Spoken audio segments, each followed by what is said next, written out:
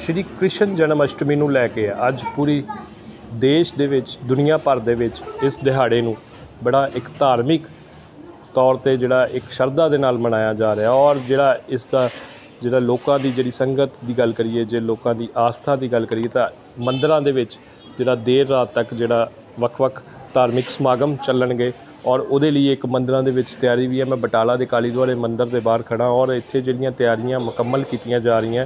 ਦੇਰ ਸ਼ਾਮ ਤੋਂ ਹੀ ਜਿਹੜੀ ਹੈ ਲੋਕਾਂ ਦੀ ਜਿਹੜੀ ਇੱਕ ਆਸਥਾ ਦੇ ਤੌਰ ਤੇ ਲੋਕ ਇੱਥੇ ਨਤਮਸਤਕ ਹੋਣਗੇ ਔਰ ਇੱਥੇ ਇਸ ਦਿਹਾੜੇ ਨੂੰ ਮਨਾਇਆ ਜਾਵੇਗਾ। ਸ਼੍ਰੀ ਕ੍ਰਿਸ਼ਨ ਅਸ਼ਟਮੀ ਨੂੰ ਜਿੱਥੇ ਇਹ ਦਿਹਾੜਾ ਇੱਕ ਹਿੰਦੂ ਸਮਾਜ ਵੱਲੋਂ ਇੱਕ ਬਹੁਤ ਇੰਪੋਰਟੈਂਟ ਡੇ ਮੰਨਿਆ ਜਾਂਦਾ, ਉੱਥੇ ਹੀ ਦੂਸਰੇ ਧਰਮਾਂ ਦੇ ਲੋਕ ਵੀ ਜਿਹੜੇ ਨਤਮਸਤਕ ਹੁੰਦੇ ਨੇ ਇਸ ਦਿਨ ਤੇ ਮੰਦਰਾਂ ਦੇ ਵਿੱਚ ਔਰ ਇੱਕ ਉਸਤਤ ਕਰਦੇ ਨੇ, ਇੱਕ ਪਰਮਾਤਮਾ ਦੇ ਨਾਲ ਜੁੜਨ ਦੀ ਗੱਲ ਹੁੰਦੀ ਹੈ। ਉੱਥੇ ਹੀ ਆਪਾਂ ਫੈਕਟ ਨਿਊਜ਼ ਵੱਲੋਂ ਫੈਕਟ ਨਿਊਜ਼ ਦੀ ਟੀਮ ਵੱਲੋਂ ਆਪਣੇ ਵਿਊਅਰਸ ਨੂੰ ਇਸ ਜਨਮ ਅਸ਼ਟਮੀ ਦੇ ਦਿਹਾੜੇ ਤੇ ਬਹੁਤ ਬਹੁਤ ਸ਼ੁਭ ਕਾਮਨਾਵਾਂ ਹੱਕ ਤੇ ਸੱਚ ਦੀ ਖਬਰ ਲਈ ਲਾਈਕ ਤੇ ਸਬਸਕ੍ਰਾਈਬ ਕਰੋ। ਪੰਜਾਬ ਦਾ number 1 digital news channel the fact news